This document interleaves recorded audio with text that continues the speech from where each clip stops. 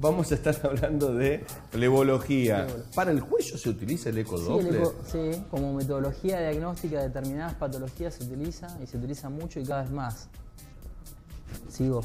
No, porque me quedé pensando, punto suspensivo, más, ¿para qué? Y, o sea, vos bien, eh, o sea, la metodología de ecodoppler eh, se utiliza eh, en todo el cuerpo. O sea, desde arterias cerebrales, cuello, en el caso de mujeres embarazadas, está el ecodoppler vascular, en caso de las patologías abdominales también se utiliza. Cardíacas también. En ese caso se denomina más ecocardio. Exacto. En este caso es ecodoppler vascular, ¿sí? bien específico de la parte vascular. Esto es un método muy interesante debido a la dinámica, al, a la, no, al no ser un método invasivo, o sea, se convierte en una herramienta fundamental, sobre todo en aquellas patologías venosas que afectan directamente a la parte vascular, tanto arterial o venosa, en el cual necesita un tratamiento, ¿no, sea, ¿no es cierto?, de urgencia o no, dependiendo del caso. Ok, va Luciana, ¿eh? poniendo la mujer o voy yo. ¿eh?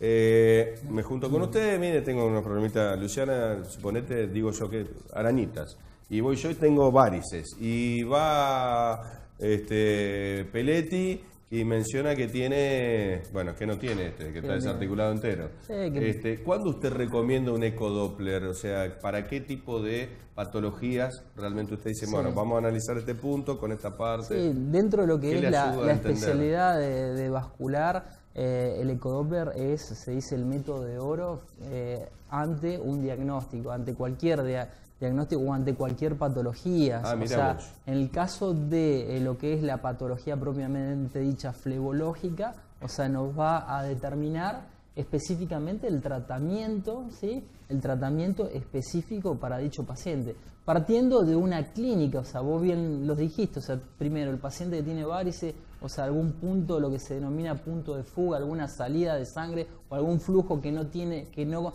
se corresponde, bueno, el ecodoppler nos va a permitir, ¿sí? buscar localizar, ¿sí?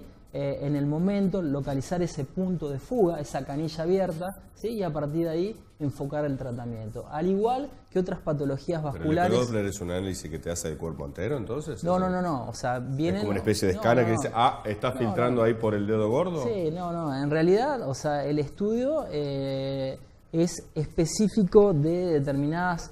Eh, especialidades. por ejemplo, una patología abdominal que sospecha algo vascular, va a pedir un ecodoppler vascular eh, abdominal o si es algo cerebral, o sea, va a pedir un ecodoppler de carótidas y demás. En el caso específico de la parte de los miembros inferiores o superiores también, o sea, en ese caso, eh, en la especialidad de flebología es como una herramienta fundamental para, para determinados tratamientos.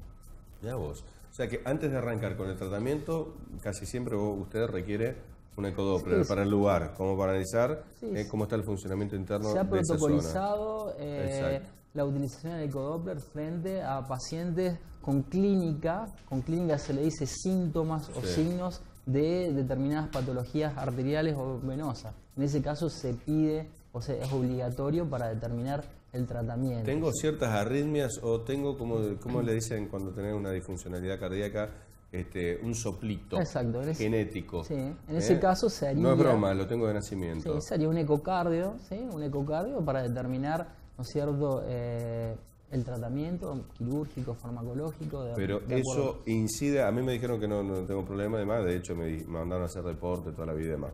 Últimamente estoy un poco abandonado en esa materia, pero bueno, este, quiero decir, este, este tipo de malfuncionamientos, o no sé si son malfuncionamientos, pueden traer problemas a nivel vascular, a nivel venoso, a nivel este, eh, extremidades inferiores en el mediano tiempo o en el largo tiempo? Sí, yo creo que a largo tiempo va a traer, o sea, depende el tipo ah, de... Estoy sentenciado. No, el tipo de disfunción, ¿sí? O alteración de lo que es, en el caso tuyo, una alteración de la, de la frecuencia cardíaca y demás. O sea, siempre, por eso son es muy importante hacer el, cardiólogo siempre te deja tranquilo y te dice, ah, es un soplito congénito. Vos lo escuchás,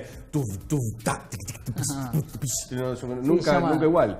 Sí, sí. Eh, el tiempo, o sea, nos juega en contra, ¿sí? Como siempre hablamos, es Horacio, o sea, yo te diría que vayas a tu cardiólogo de confianza. Fui la otra vez también lo mismo, en la misma batería de cuando Bueno, perfecto, eso quiere decir que, o sea, el médico determina que vos tenés un organismo que compensa todas esa, esas alteraciones que se pueden llevar a cabo a nivel cardíaco. Pero siempre, o sea, es importante, es buena la pregunta, muchas veces, o sea, la gente de edad eh, aparece en el consultorio con, con, un, con problemas de, eh, con las piernas hinchadas, cansadas, con lesiones ¿sí? a nivel de la piel y eso muchas veces es generado por el corazón, el corazón. ¿Por qué? Porque no hay una consulta cardiológica que determine o genere una buena regularidad en lo que es la frecuencia cardíaca o, o en las arritmias, O sea, esas arritmias, esos pacientes necesitan determinadas, eh, determinados tratamientos farmacológicos y eso o sea, mejora toda la parte vascular y sobre todo la flebológica.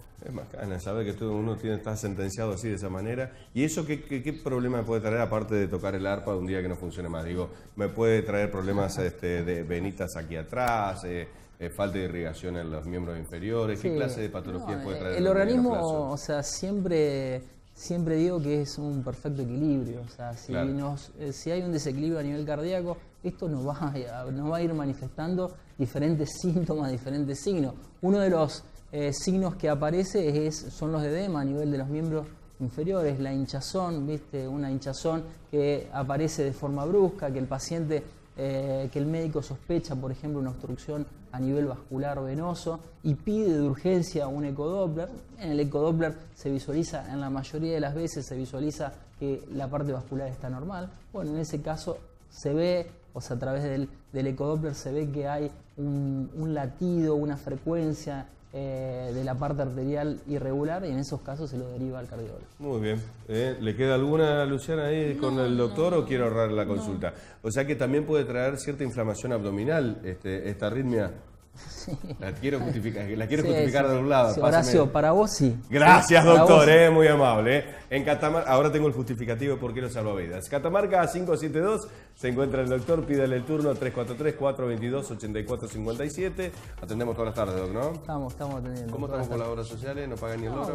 no, bien. bien por suerte, el, el, nuevo círculo médico está funcionando muy bien. Ah, bueno, es rescatar, Es de rescatar la, la gente que se involucra eh, buena honra y, para eh, la lucha de los médicos y honorario y demás. Es, la está peleando bien. Bueno, bienvenido sea. ¿Usted acepta todas las tarjetas? Sí.